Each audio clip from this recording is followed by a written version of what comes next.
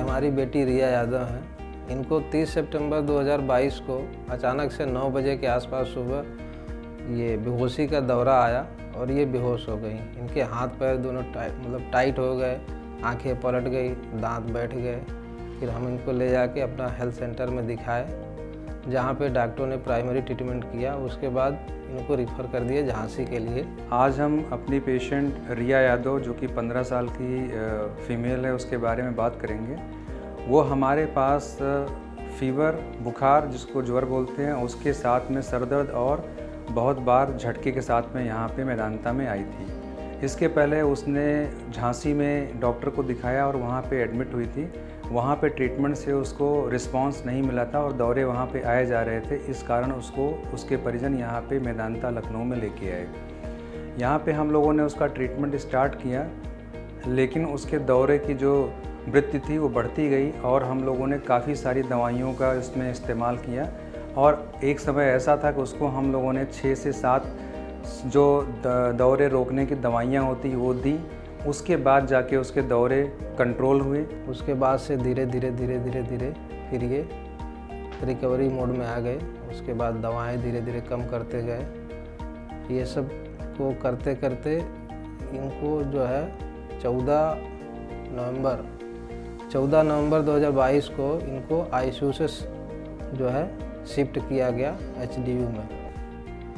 इस बीच ये जो है, चार नवंबर चार अक्टूबर से जब से हम आए थे, तब से जो है, वेंटिलेटर पे थी, क्योंकि इनको जब सीजर्स आते थे तो ये सांस भी नहीं ले पाती थी। जिनकी वजह से इनको दिक्कत होती थी तो उसके लिए वेंटिलेटर पर डाला गया था। तो ये सब वेंटिलेटर भी लगभग अड़तीस दिन तक लगा रहा। उसके बाद वेंटिलेटर हटाया गया। यहाँ पे हम लोगों ने सारी जांचें की उसकी उसमें एमआरआई, ब्रेन की ईईजी e इन सब जांचों को देखने के बाद हम लोगों ने ये निष्कर्ष निकाला कि वो एक अलग टाइप का ब्रेन का वायरल फीवर था और जिस कारण से उसको इतने सारे दौरे आ रहे थे। इस टाइप के वायरल बुखार या वायरल मैनजाइटिस में या वायरल मैनजो इनकफ्लाइटिस में इतने सारे दौरे आने की वृत्ति बहुत कॉमनली नहीं देखी जाती है। लेकिन फिर भी हम लोगों ने सारा ट्रीटमेंट दिया और यहाँ पे एमआरआई किया तो उसमें ब्रेन में काफ़ी सारे लीजन मिले, जिसको हम लोगों ने कई सारी दवाइयाँ और एक इंजेक्शन जिसको हम लोग आई बोलते हैं, उसके द्वारा कंट्रोल किया। धीरे धीरे करके उसके दौरे कम होने शुरू हुए और बाद में करीब हमारे पास तीन से चार हफ़्ते रहने के बाद वो अच्छी स्थिति में आई और उसको हम लोगों ने अच्छी कंडीशन में यहाँ से सारी दवाओं के साथ में छुट्टी किया।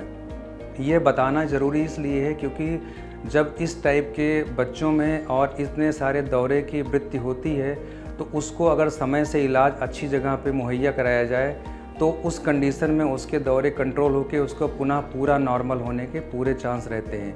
इसके लिए सबसे महत्वपूर्ण चीज़ ये है कि हम समय से उसका इलाज शुरू करें और वो इलाज ऐसी जगह होना चाहिए जहाँ पे हमें ठीक से आईसीयू की सारी व्यवस्था हो और ज़रूरत पड़ने पे वेंटिलेटर और इंजेक्शन के द्वारा जो कुछ सुलाने की दवाइयाँ दी जाती हैं, उसका भी हमारे पास अरेंजमेंट होना चाहिए। अगर हम सारे व्यवस्थाओं के साथ में ऐसे मरीज़ का इलाज समय से शुरू करते हैं तो ऐसे मरीज़ों में दवाई का रिस्पांस बहुत अच्छा आता है। ये पेशेंट हमारे पास जिस कंडीशन में आया था, उससे जब हम लोगों ने उसको छुट्टी किया तो बहुत अच्छी कंडीशन में गया। पेशेंट हमारे रेगुलर फॉलोअप में है और उसके मैसेज और फ़ोन कॉल हमारे पास आते हैं और वो बिल्कुल इस समय अच्छी स्थिति में है। और जो दवाइयाँ हमने यहाँ पे उसको छुट्टी के टाइम में दी है, वो सारी दवाओं का सेवन पूर्णतया बिल्कुल ठीक से कर रही है और वो रेगुलर हमारे फॉलोअप में ओपीडी में विज़िट कर रही है। डॉक्टर सुधाकर पांडे की टीम, डॉक्टर पुष्पेन सर की टीम और आई यू सेवन के सारे स्टाफ को बहुत बहुत धन्यवाद देना चाहते हैं और डॉक्टर ठक्कर सर को बहुत बहुत धन्यवाद देना चाहते हैं।